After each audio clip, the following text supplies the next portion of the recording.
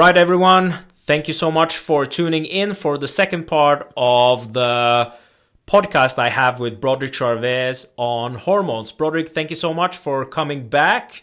Uh, it's a pleasure to have you on, and I'm so excited about the questions that we're going into today.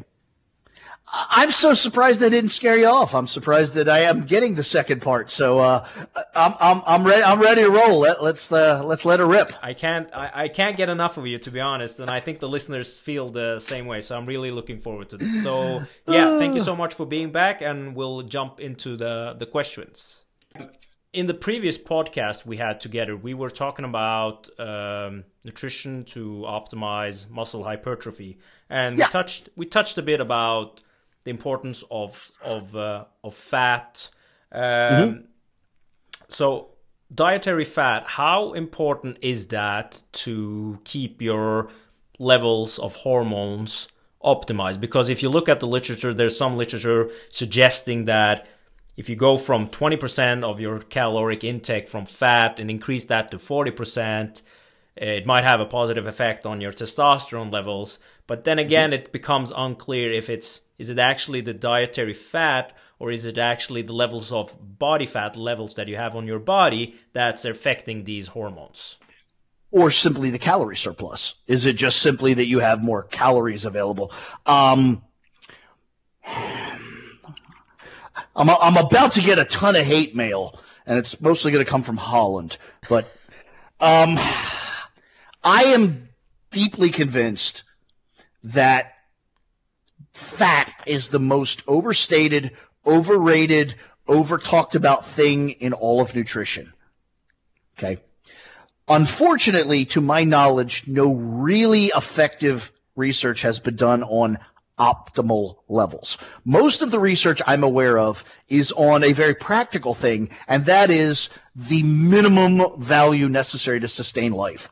This world has a lot more starving people than otherwise. So the minimum value necessary to keep people alive and functioning is where most of the valid research exists.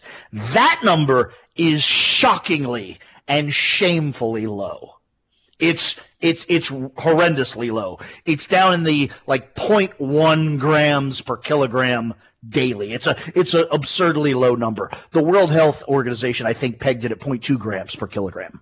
So and they're notoriously notoriously conservative. So that's a really small amount. I mean, you know, let, let's be fair. That that number's almost almost insignificant. Now, where that optimal number is for human performance is anyone's guess.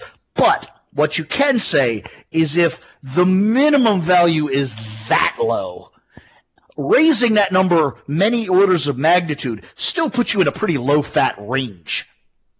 There's absolutely no evidence that I accept as valid that suggests these, you know, you commensurate macro numbers, you know, like one third of your daily calories or you even one fifth of your daily calories coming from fats has any additional benefit other than making eating very easy. You don't have to be particularly discerning, you just fucking eat. That has a certain value for sure rather than belabor all the things I don't know, because I just, there's no research and I don't know, what I can relate to you and your listeners is what I do. And what I do is we've, you know, I've pretty well identified what's considered the minimum value. That's probably too small for athletes. What I've identified is what I believe to be the maximum practical value. And now you have a range in which to exist. I think that's useful. And that maximum practical value is about one gram per kilogram of fat daily. And now if you clear your mind and stop recoiling and acting offended and all the dumb shit, and you actually realize, oh, I weigh 80 kilograms. 80 grams of fat's a pretty sensible fucking number. Like that's a number. If you ate whole foods and you didn't dip everything in coconut oil or smear butter on it, Fuck, that's about the amount of fat you get from food. And coincidentally, that's what we're supposed to be eating, folks, food. So it, it doesn't seem aberrant to me that if you get two to three grams of nitrogen per kilogram from meat, and you eat whole food, grains and vegetables, when you dial that out, when you dilute that and distill that down, you get about one gram of fat per kilogram. It, it, it's it's probably not a coincidence that each answer leads you to the next correct answer or seemingly correct answer. People just write books and books and volumes and volumes on fucking diet and literally you can write everything you need to know on a goddamn post-it note.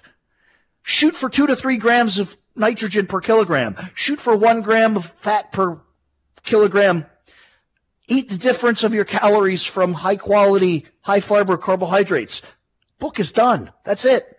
I mean, you could get complicated talk about protein sources and some things are better than others and carbohydrate sources, glycemic index, and even fat. But at the end of the day, there's, there's really only three fats. There's, you know, saturated, unsaturated, you know, mono and poly and unsat, and saturated. That's basically all you got.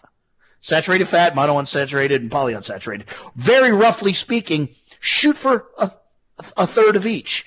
And coincidentally, if you eat red flesh fish or red flesh meat, you're going to get about that one third. You know, if you eat, you know, high fiber, high quality grains and things, you're going to get some protein from non, you know, saturated sources. Again, if you just follow the basic shit we actually do know, all of the estimate fills itself in. The chart fills in for for itself. You, it, you don't even need your involvement. Just stop being an asshole and stop trying to invent the wheel and keep trying to be clever. Oh, if I just get this ratio, magic will happen. Or if I just get that ratio, there's no magic, folks. It still comes down to just fucking eat the food, lift the weights, and fucking sleep, and stop being an asshole. That's God.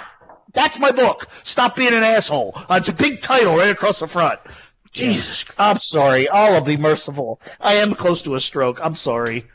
I think that's the best. The, the best advice is actually the last one. Don't be an asshole. That's the most Stop being an asshole. Yeah, yeah. the, the the funny thing is that, like, I mainly work with with athletes, and like one of the questions I often get is, well, uh, what do you think about these high fat diets and for performance and stuff? And the thing is that I actually conducted a study last year on cyclists where we actually fed them a, a high fat diet a day before they cycled. Uh, we didn't really see any difference on performance, but when we looked at their bloods, like we took eight blood samples, okay. you actually see even with a, a acute high fat meal, uh, insulin resistance happening in the Absolutely. athlete with high 100%. fat. Yeah. 100%. And strangely, you get more insulin resistance from fat than you get from carbohydrates. Yeah, exactly. Oh, that's, oh my God, the world's going to end. Yeah. Oh, right now, Dave Palumbo's trembling. Right now, he's, oh. Yeah, it, it's, it's, uh, and the thing is that if you actually start to look at the research, like we had the acute study, which also has been shown previously that eat a high fat meal, it actually leads to insulin resistance. But if you sustain that for a couple of days, you actually see down regulations in enzymes that can oxidize Agreed. carbohydrates. So again, something I point out to people all the time is we, again, being a biologist, I kind of look at this shit a little different. We, being people, are very fragile creatures compared to animals in the wild. We have crap ability to regulate our heat. We don't have claws. We don't have fangs. We don't have fur. We don't have so many advantages that the rest of nature does have. What we do have is an extraordinarily high ability to adapt. Very few creatures other than humans are capable of living on every single landmass on this planet. There are humans from pole to pole, every continent around the world. Try that with it. You know, take fish X or Y out of the water here and throw it into water there. It will die. It lacks the adaptability. That's the thing. People always, you know, do this. Well, I've been eating nothing but, you know, red meat for six months. I'm like, yeah, because you were gifted with an incredibly adaptive creature that doesn't want to die. It will live on anything. Is that the same as being performance based or is that what your body really wants? No, but can you? Yes, we have Eskimos that have been living, you know, for th- tens of thousands of years on, you know, whale blubber and fish scales. I bet they really want cake, But they can live on that. Like it's it's proven now. We can do that. I don't know why you would. I don't understand the point. But the point is, is you can do that and not die because the fundamental overriding concept of biology is that first. Page one, chapter one, don't fucking die. If you can pull that off, then you get to the cool shit like, you know, reproduction, iPhones, tweeting about the weather. What the fuck? So it starts with don't die. So we've been given this incredibly adaptive thing that cannot die under a wide array of conditions. Uh, why that has to then become nutritional dogma eludes me, but there you have it. Yeah, exactly, exactly. All right, let's uh, let's. Uh, I think th- I think uh, that's a that's a great point that you mentioned there. Next question is, um, and now we're talking about like natural natural, not enhanced people. What okay. what do you need to do to like keep your levels optimized of testosterone? Like, what can you do with your? Is there anything you can do with your diet? Is there anything you can do with your lifestyle, etc., etc.? Um, well, first of all, let me predicate this with that's absolutely not my area. My area really professionally is, and let's add a bunch more. So that's, that's who I am. So the reality is there's probably people in, in, uh, in the field that would be much better at answering that question. Lyle McDonald is somebody I would tackle that question with. Maybe even Steve Hall. Those are people that wrestle with that on a day to day level in their profession. I don't. So what I'm about to tell you is purely supposition and assumption based on what I know about biology. Okay, with that predication, I would say, first of all, by and large, testosterone values are very consistent over the bell curve of age. Very low at childhood, very high at pubescence, and then they taper down. Okay? So any expectation that's not that is slightly irrational. Okay, so every time this 40 year old guy comes to me and I'm like, I don't understand why my testosterone's lower than it was when I was 18. I'm like, mm, maybe because you're not fucking 18. So the reality is that's normal. So to a small degree, even these natural assholes that are, you know, banner wavers, champions of naturalness, they're actually seeking an unnatural outcome. Because the natural outcome is every year after your 20th birthday, that number goes down. That's natural. Anything that's not that is contrivance. But even in the realm of contrivance, things that you can do to sustain that number is maintain even constant levels of exercise, not big breaks. The cyclic nature of most people's behavior is the worst thing. Consistency in signaling. And exercise is one of those signals. Not exercising is one of those signals. So if one maintains muscle mass and one doesn't, consistently signaling the maintenance of muscle mass, very important. So not taking six month hiatuses, not fucking off, not, you know, consistently hammering the build muscle, maintain muscle, build muscle, maintain muscle is step one. Step two, within the confines of that, don't overtrain. And Overtraining, I, I, I don't want to go down this road because it's a podcast all by itself, but overtraining is more than you just lifted weights too much. Overtraining is an overall concept. It's like putting your finger on exactly why a business went bankrupt. Sometimes it is just one really shitty deal and like, wow, if they hadn't done that, everything would be fine. But most of the time, it's collection of bad habits. They had too many employees. They did a little too much advertising. They this, they this, they this. And the outcome was collectively failure. That's what overtraining is. It's not that, oh, your training frequency was wrong or your training intensity was wrong. It's your training intensity, your training frequency in concert with your cardio, in concert with your job, in concert with your sleep habits. So when I say overtraining, it's that whole amalgam of lifestyle that's your total net pluses and negatives in the stress realm. Keep that shit under control.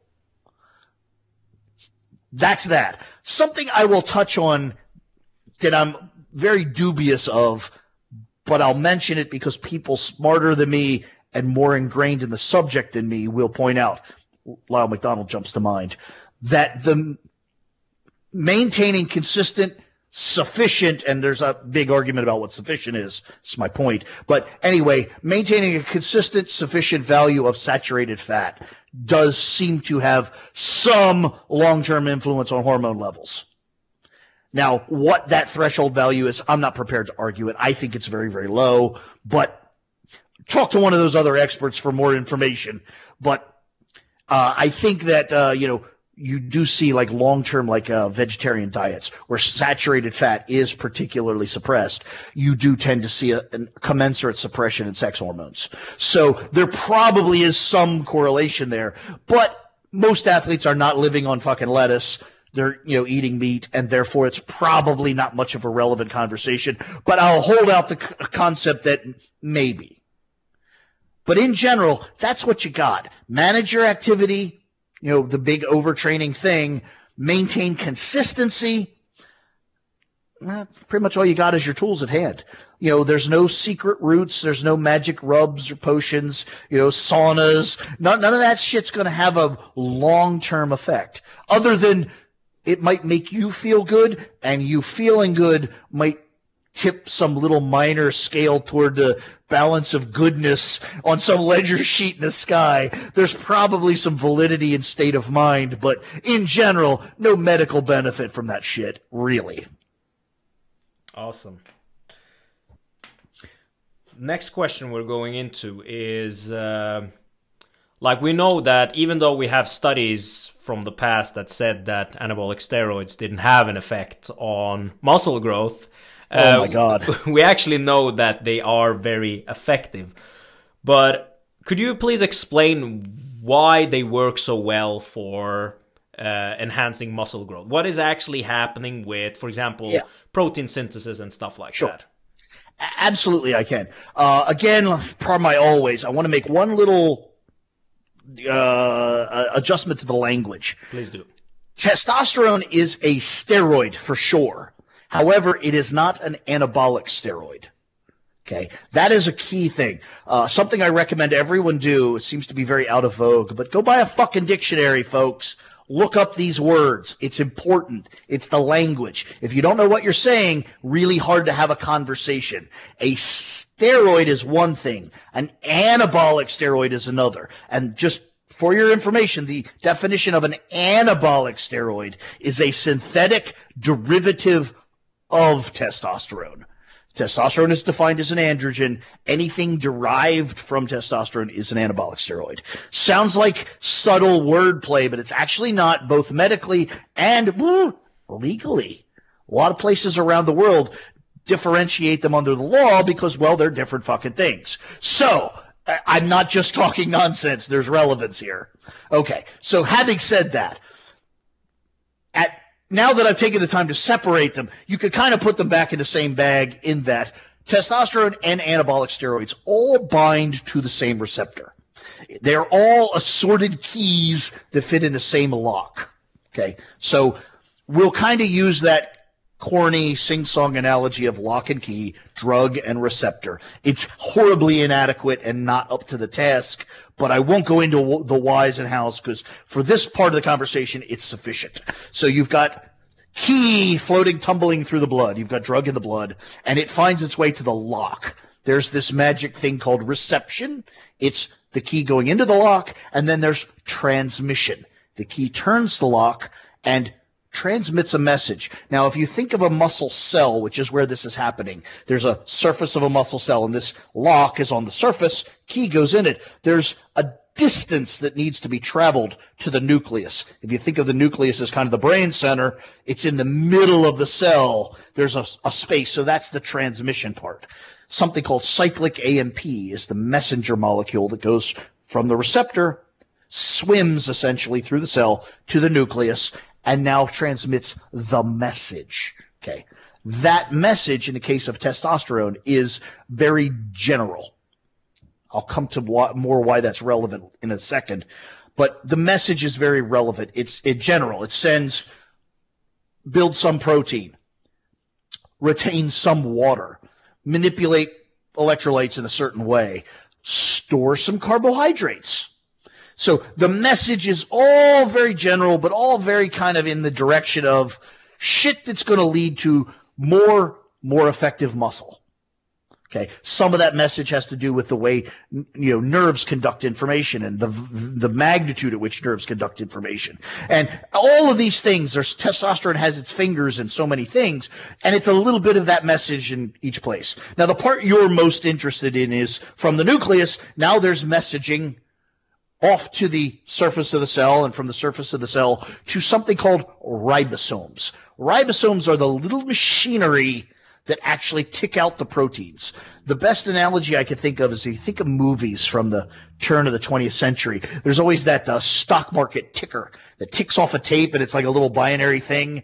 And there's always people, you know, peeling through the tape looking at the, the, the stock market. Well, that's very analogous of how a ribosome works. The ribosome is the little ticker and the protein is the ribbon that comes out of it. The ticker says, oh, make contractile quadricep muscle. And so it does. And it goes, you know, one lysine, one glucine, one, one amino, you know, one amino acid after another. And then collectively that becomes the protein that's then folded and packaged and put in place to make the quadricep bigger.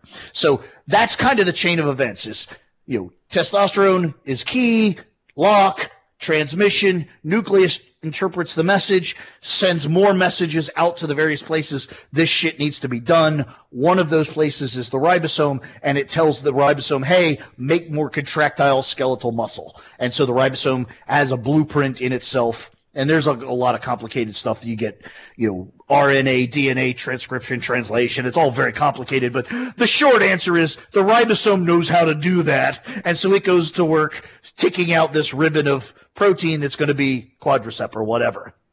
Um, this is not a show about drugs, but just to illustrate something that your listeners might have raised an eyebrow at. All steroids click into that same key lock scenario. The difference is testosterone sends a very general blanket message, do a little bit of this, do a little bit of that. Each individual steroid has been derivated in such a way by clever organic chemists so that it clicks into the lock, turns the key, sends a message to the nucleus, but the nucleus interprets a slightly different message less water retention, less carbohydrate retention, more muscle protein synthesis, or more neurological influence, less this, less that. So it's the same kind of group of information, but just sent in maybe different ratios and arrangements. If that helps you. That's why all steroids kind of trick the cells into thinking they're testosterone, but then send a slightly different message. That's why one drug can be better at building muscle, one drug be better at you know, stimulating neurology and one drug doesn't convert to estrogen as well as others and that sort of thing. Just, just for background information, it might help, you know, kind of build a bigger you know, mental construct of what's going on here. Does that help? Absolutely, absolutely. Okay. and I think, uh, I think another thing that might also be mentioned since we're already on the topic of performance enhancing drugs that people seem to not understand that if you're talking about enanthate, uh, and Deconate that there's different things, but what is actually the difference? I, I, I, I, am gonna. My, my, last near stroke was on this very topic, mm-hmm. and uh, this is the uh, analogy I used, and and I think it's I I don't want to belabor the analogy thing to death, but in this case, it's perfect. I think this is one. I think this is my best work people use words that they don't understand. I, am guilty of it too. I'll say words like, you know, mortgage and interest rates. And I don't know what the fuck that stuff is, but I still say it. So I'm guilty of the same thing. I have sympathy. But people say things like, you know, ester and enanthate and cypionate. They have no idea what the fuck they're talking about. They're just words. They don't have any concept. So I'm going to give you a visual concept of what those words mean. Okay. Something that everyone even in the third world, even in the poorest village in Africa, peanut butter and jelly.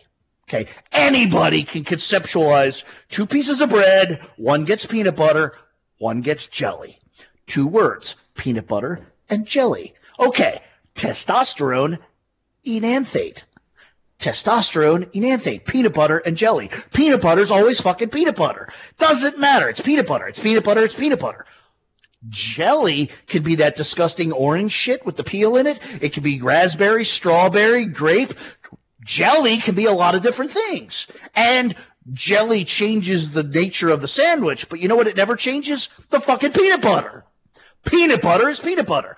Testosterone is always testosterone. But over here on the jelly side, it can be testosterone enanthate, testosterone propionate, cypionate, decanate, undecanate, undecacyclinate. It can be a lot of things. But at the end of the day, the peanut butter comes through unscathed as guess what? Fucking peanut butter! That's it. That's, that's the whole story each ester has its own life and its own, you know, the rate and temperature at which it dissolves, and all of there's a lot of differences. But at the end of the day, when the jelly goes away, you know what you're left with? The peanut butter. Testosterone in any format ultimately hits your bloodstream as testosterone. The jelly part of the song only affects the speed at which that peanut butter is delivered. The larger the ester, the longer it takes to dissolve, and therefore the more time released your peanut butter is. The shorter the ester, the easier it dissolves. Actually, a concept that's pretty easy to understand. You know, a short chain ester dissolves quicker than a long chain ester. A short chain ester like propionate dissolves pretty quickly, three days, and releases your peanut butter in three days. A giant amalgam of ester like, uh, you know, undecanate takes 30 days to dissolve. So your peanut butter dribbles out very slowly. But at the end of the day, the thing that dribbles out still the fucking peanut butter. End of story. That's a that's a great explanation. Peanut butter and jelly. Yeah, yeah. I really like that.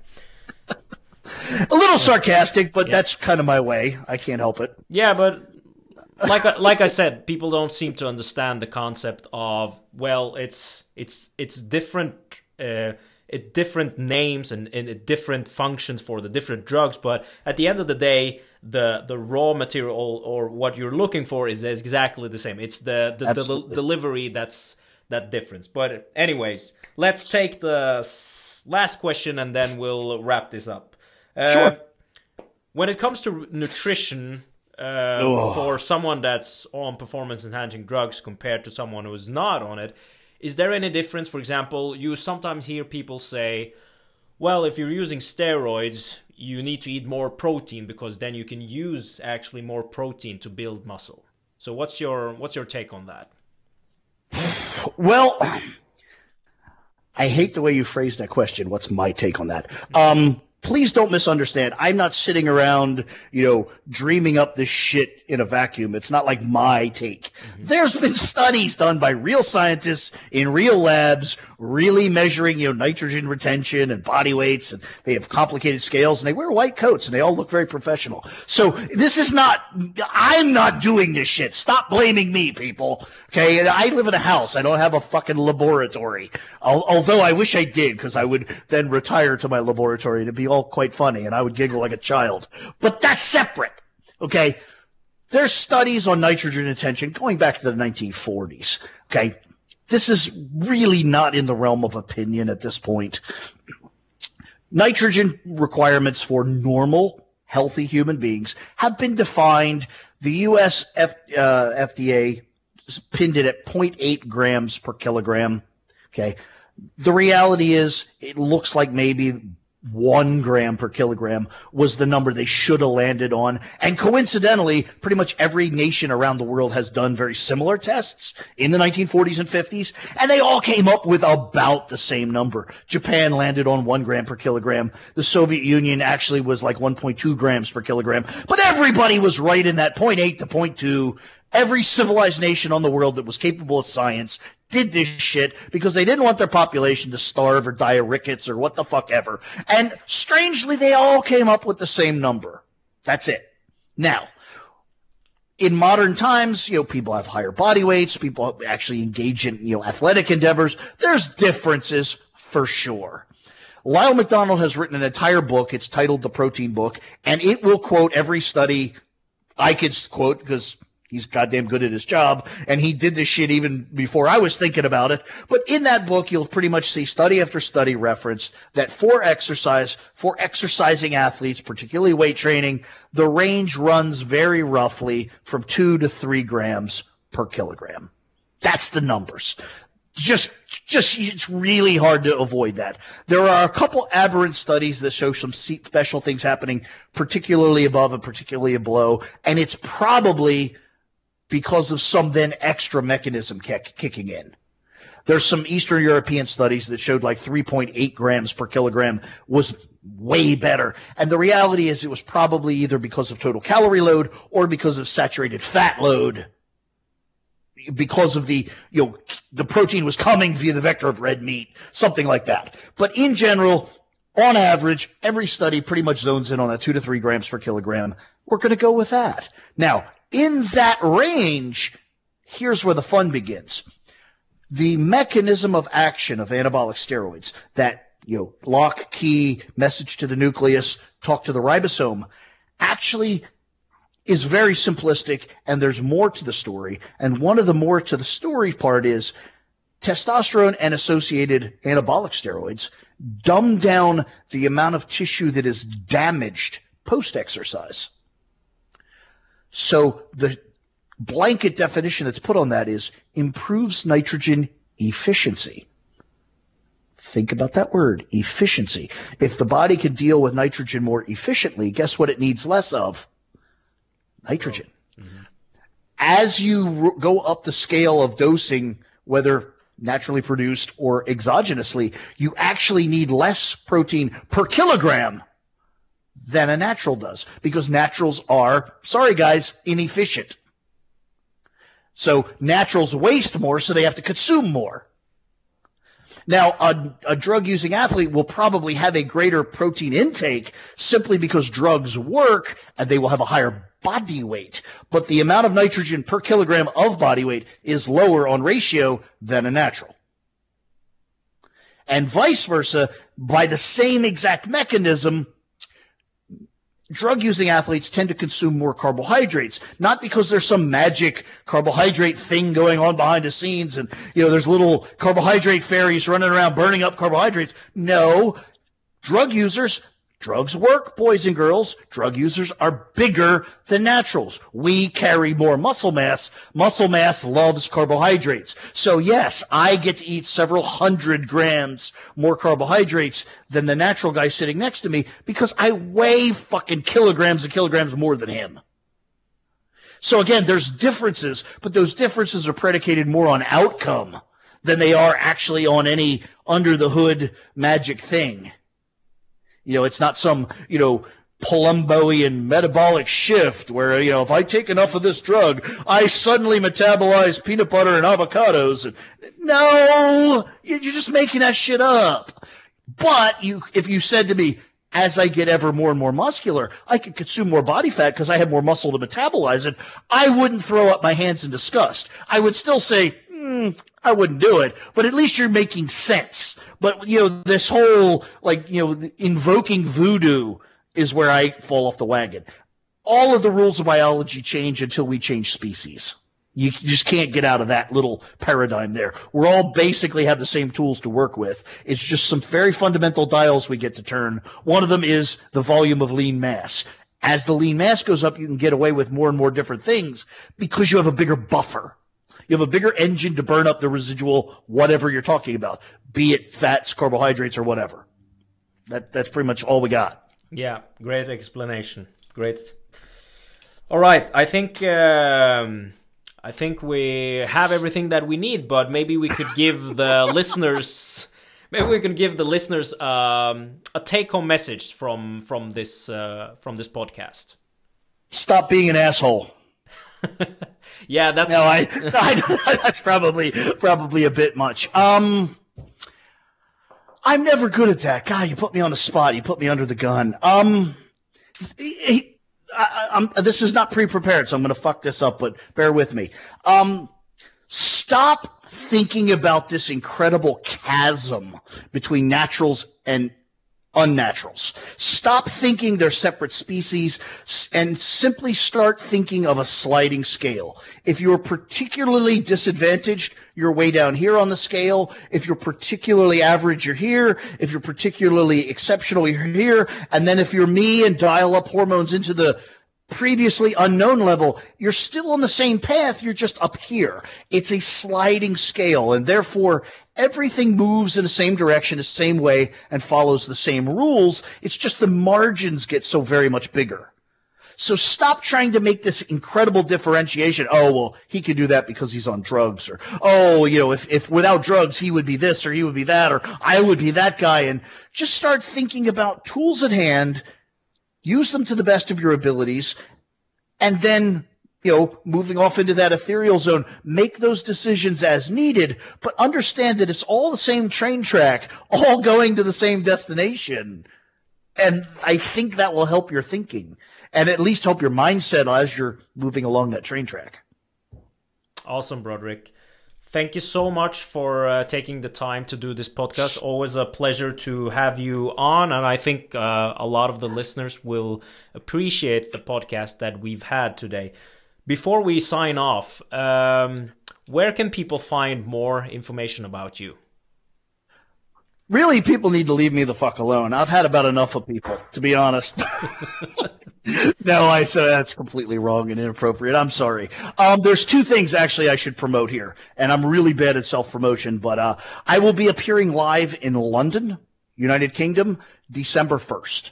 So that's a big deal, and it's you know your corner of the world. It's the European continent, so it'll be my first uh, actual real you know kind of professional iteration there. So it's a big deal. It's going to be a great show. I believe the house has a seating capacity of 50, and I think we've already sold like 10 or so tickets. So it's it's moving, it's going. But um, I really I take my job very very seriously. I think that I'm pretty good at it. I will put on a great show. I will give you everything I've got. So I really suspect uh, you know, it's going to be a hit. So uh, you can find tickets to that on the uh, Evil Genius Worldwide website and uh, the Team Evil GSP Facebook page. There's it's the first thing. It's pinned as the first item.